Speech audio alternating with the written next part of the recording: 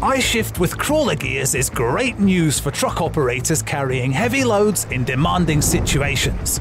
It provides a unique startability from standstill with loads of up to 325 tons. It also helps truck operators to drive at speeds as low as 0.5 kilometers per hour. This is a huge help when performing precision maneuvers.